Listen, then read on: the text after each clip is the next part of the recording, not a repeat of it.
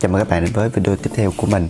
Trong video này mình sẽ thiệu các bạn một cái thẻ có thể tìm kiếm điện thoại và chìa khóa khi các bạn làm rơi và mất. Các bạn có thể mua sản phẩm này ở Company Family Mart với giá là 880 yên. Bây giờ mình sẽ mở ra xem bên trong có gì nhé.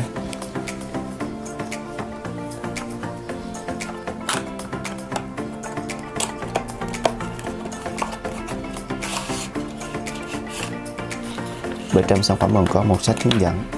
Đây là sản phẩm chính của chúng ta. Các bạn hãy xem cách kích hoạt sản phẩm ở trong tờ hướng dẫn sử dụng nhé.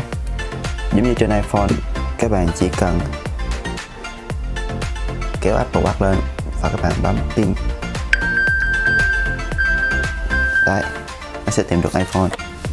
Để kích hoạt sản phẩm Đầu tiên các bạn sẽ vào Apple Store Sau đó các bạn sẽ vào mục tìm kiếm. Gọi với từ khóa là thay rửa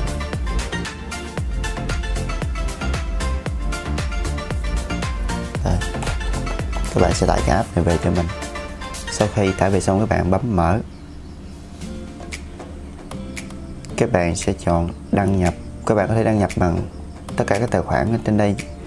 Mình sẽ chọn đăng nhập bằng Facebook hoặc là đăng nhập bằng mail. Ở đây mình đã tạo một tài khoản và bây giờ mình sẽ đăng nhập. Mình chỉ bằng bấm đăng nhập.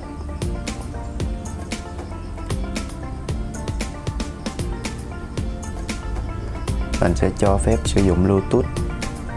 Sau đó các bạn sẽ cho phép sử dụng thông báo. Tiếp theo đó là cho phép sử dụng vị trí các bạn sẽ chọn là luôn luôn. Mình bấm nhầm rồi. Vị trí mình sẽ chọn đó là khi dùng ứng dụng hoặc là luôn luôn. Ok. Đây. Bây giờ mình sẽ dùng thử cái thẻ này nhé mình sẽ nhấn hai lần lên chiếc thẻ. Trên điện thoại sẽ có một thông báo. Và ngược lại, trên điện thoại di động, các bạn sẽ bấm vào từ tìm kiếm. Sẽ bấm là find đấy các bạn nghe không? Đấy khá chiều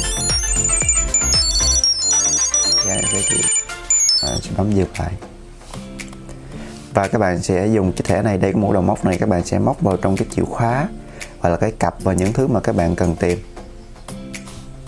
Các bạn hãy nhớ đi mua cái thẻ thai này nhé. Có 880 yên. Nói chung là cũng không có mắc, nhưng mà chúng ta có thể tìm kiếm được những vật mà chúng ta cần tìm. Xin chào và hẹn gặp lại. Hẹn gặp lại các bạn ở video tiếp theo.